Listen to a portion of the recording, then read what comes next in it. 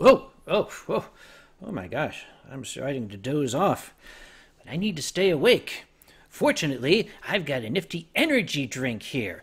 Uh, this is supposed to keep me awake. Uh, according to the, the manufacturers, it, it, it gives me some kind of wings, monstrous wings. And, and look at all the, the great stuff it's got in it. Let's hold this up here. It's got vitamins, uh, it's got uh, carnitine, it's got taurine. Those, those, are really, really cool chemical names. And, well, because they're so prominently listed on the can, the, these things absolutely must give you energy, or else they wouldn't list them, right?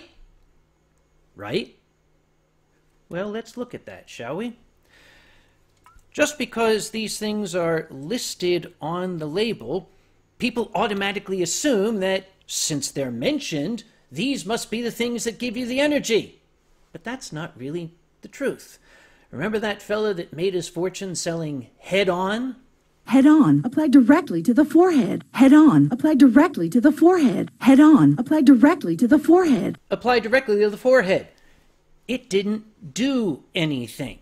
He never claimed that it did anything. All he did was breathlessly tell you to apply it to your forehead. And people imagined that it had all sorts of health benefits. Oh, some people said it cures headaches, it's good for migraines, it'll cure impotency, it'll cure the croup, the dropsy, it'll cure leprosy. Who knew? But just because you're supposed to apply it directly to your forehead, it was good for you or else they wouldn't have mentioned it, would they?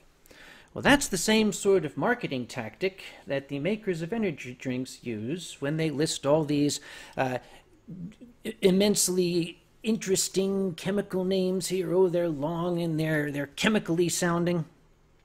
Let's go through the list, shall we?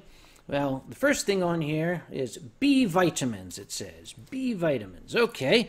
Well, there are four B vitamins that are listed. Riboflavin, that's vitamin B2. Uh, niacin, that's vitamin B3. Uh, vitamin B6 and vitamin B12. Let's look at these guys. I, I happen to have uh, gotten some numbers off the National Institutes of Health uh, website. They have all sorts of tables and other sciency things there that, that list the uh, USRDA, that is recommended daily allowance, and the tolerable upper intake the upper limit before they start harming you of a lot of different things. Well, according to Monster, it gives you 100% per serving of these things. Well, let's see. The USRDA of riboflavin, that's 1.3 milligrams, I see. And it doesn't have an tolerable upper limit. Nobody's ever studied it because it's never been a problem. Uh, vitamin B12, the USRDA is 2.4 milligrams also doesn't have a tolerable upper limit because, as far as we know, there isn't one. These are B vitamins, by the way. They're water soluble. Chances are any excess is just going to get washed out of your body. Vitamin B6. Now, that one does have a tolerable upper limit. Its USRDA is 1.3 milligrams. The tolerable upper limit, though, is 100 milligrams. Now let's get to one of my favorites, Vitamin B3, niacin. The USRDA of niacin is 16 milligrams, and that's per serving. Oh, but look at this servings per container, two. So I don't know anybody who's going to drink half the can and then put the rest in the refrigerator and drink it the next day. You grab this thing, you down the whole thing. So you actually are getting two servings. So you're getting 32 milligrams of niacin. Well, guess what? The tolerable upper intake level for niacin is 35 milligrams for the average adult male. It goes up and down depending on your age and your gender, but basically, with one 16 ounce can of Monster Energy that I have here, uh, you are getting very, very close to what your body can safely tolerate for niacin. Uh, if you have too much niacin, it can have interesting effects. Uh, according to the Mayo Clinic, an overdose of niacin can cause skin flushing, that's the big one. It can cause rapid heartbeat, hmm. and it can possibly cause liver damage. So uh, you don't want to get too terribly much of that. However, again, it's a B vitamin. Primarily, small excesses are going to be flushed out of your body. Now, let's go into these interesting chemically sounding names up here. We've got the L-carnitine and the taurine. Let's start with the taurine. Here's taurine. It's a fairly little molecule that, uh, according to myth, is extracted from bull semen. Well, this story is bull. It is actually extracted from bull bile. Uh, it's found in very high concentrations in heart and muscle cells in the human body, so it naturally exists in our cells. It's synthesized in the liver. Your body is loaded with it. There were studies that were done that tried to test the effect of a combination of taurine and caffeine on performance and sleepiness. They had various results, but primarily what they discovered was that taurine plus caffeine had pretty close to the same effect as caffeine by itself. So the taurine really isn't doing an awful lot. The one study that I found that concluded that taurine has a positive effect on alertness and wakefulness was sponsored by these people. You guessed it, the ones who want to give you wings. Speaking of bull bile? no. There is no solid evidence that taurine does anything. Yes, it occurs naturally in our bodies, but eating more of it doesn't really appear to do terribly much. Well, okay, how about this one? This is L-carnitine. L-carnitine also exists naturally in our muscles. There are some reports that L-carnitine is very, very low in patients who exhibit fatigue, and it's extremely low in patients who exhibit what we call chronic fatigue syndrome. Uh, the thought then is if you swallow a bunch of it, you won't be fatigued. Actually, that is true. That is one of the therapies they have for chronic fatigue syndrome. Uh, you have to take a gram of it twice a day, that's a thousand milligrams, for four to eight weeks before you start seeing an effect, and even then, all the literature says there is some effect. So, swallowing however much they're going to put in this over an hour is not going to have any real effect on you. You're just going to have a stomach full of carnitine, which will go away on its own after some time. Um, there was a study done at the University of Maryland Medical Center to see if it had any effect on athletic performance, and uh, the uh, results of that study can be summarized in one word. So apparently, the taurine, the B vitamins, and the L-carnitine, which are so prominently labeled on this can here, really have no effect on your energy levels. They're not going to give you wings. They're not going to allow you to lift a car or whatever the commercials say you can do. And they're not going to increase athletic performance. But there's something in here that's not listed on the label, except it's buried way down in the ingredients list that might be having an effect on your body, and that is this little molecule here. That's right, that's your friend and mine, caffeine. Now, caffeine is a molecule that all of us are familiar with. We've seen it all over the place. It's in coffee, it's in chocolate, it's in a lot of cola products. Your average cup of coffee, about eight ounces worth, uh, is going to contain roughly 100 milligrams of caffeine. The U.S. Food and Drug Administration has stated that 400 milligrams of caffeine per day is about as much as you want to get. Why is that? Caffeine is a stimulant. It makes your central nervous system perk up. You start to release adrenaline. Your heart starts to beat faster. You become more alert.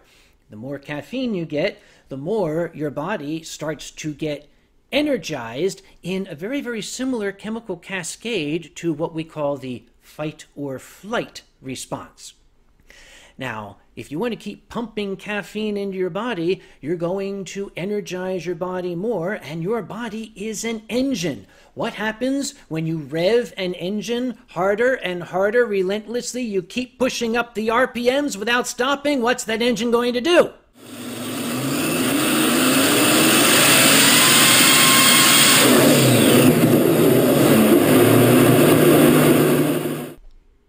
Exactly.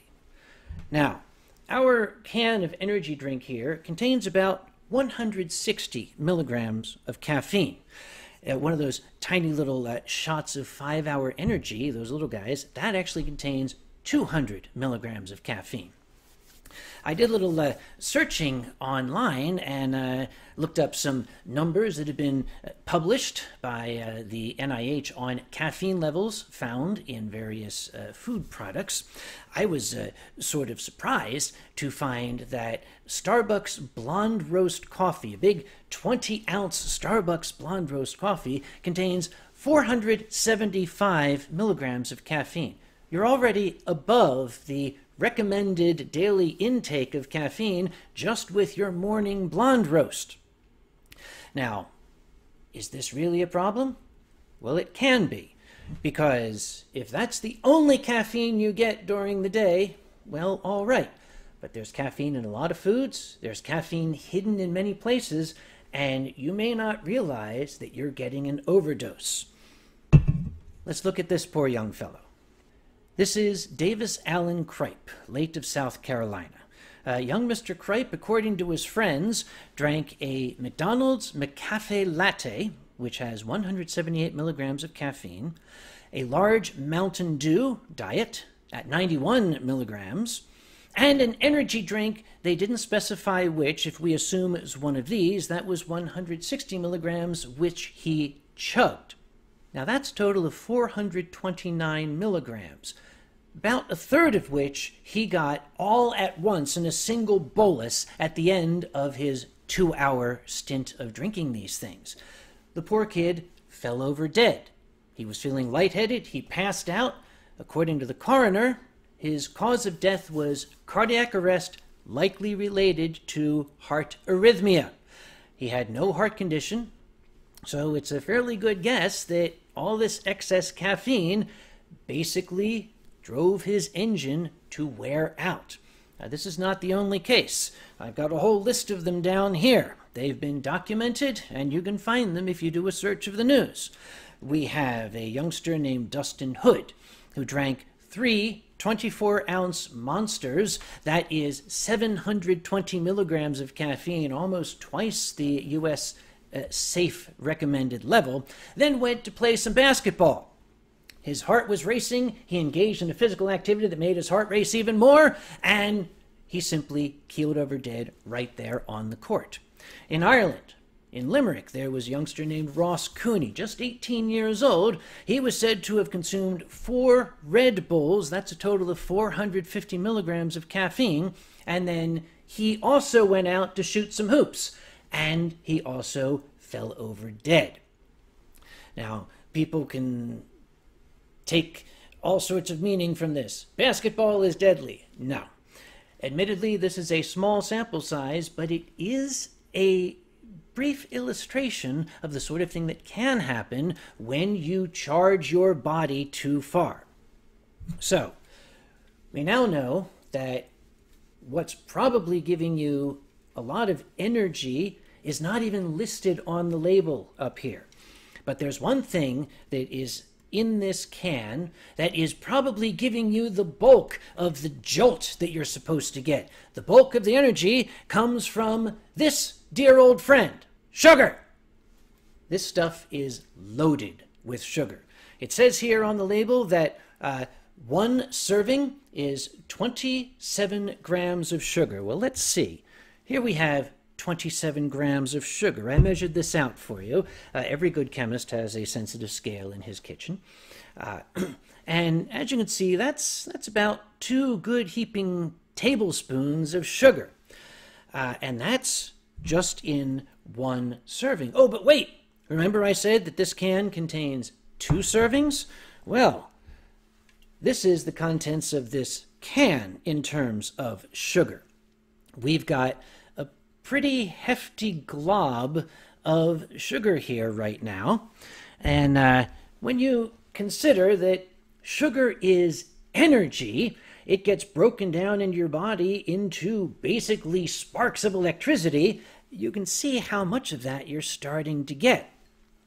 Let's say uh, you, you didn't want to stop at, at just one of these uh, cans. Suppose you drank one, and then a little while later you said, I need more energy, so you drank a second one. Well, in two cans of Monster Energy 16 ounce, this is the amount of sugar you are dealing with 108 grams. Um, can you imagine somebody handing this to you and saying, Here, here's some sugar, it'll give you energy, drink up? I don't think so. That's 16 ounce monster. What about the big 24 ounce monster monsters? You want to drink two of those? Here's the volume of sugar you're going to wind up consuming. Well, um, if you're a very active person and you're going to go out and run an Olympic decathlon, well, maybe this isn't a problem for you. But most people out there are not really all that active. Uh, let's look back at this uh, 108 grams that we have here. Um, that's about 420 calories. Uh, if you wanted to burn off that 420 calories, you would have to jog constantly for roughly four and one half miles. If you don't, your body is going to take that energy and store it. And how is it going to store it? It's going to store it as fat. The volume of sugar in two of your 24 ounce monsters, this is going to be the equivalent of about one quarter pound of fat. So, what's happening when you drink your monster? Yes, you're getting sugar. Yes, you're getting caffeine. You're getting a lot of both. It's giving you energy, but there's really safer ways to get that energy. Take a cup of coffee. That's 100 milligrams of caffeine there. Just put a couple of sugar packs in, enough to make it sweet. That is going to be enough to keep you awake. Or consider this. Why is it you're so tired? Could it be that your body is trying to tell you it needs rest? Maybe you're not getting enough sleep. Yes, perhaps you work a particular shift, uh, you've got to be up, you're an emergency responder, and you need that energy. All right, for a quick burst of energy when it's really needed, this material can be effective. But if you're going to start relying on it, if you're going to start downing one or more of these every day or every other day, all it's going to do is make you think you've got lots of energy you're going to run your body ragged, and eventually your body will simply give out. And quite frankly, I don't want to be reading your name in that long list of people whose deaths have been attributed to possible overdoses on energy drinks.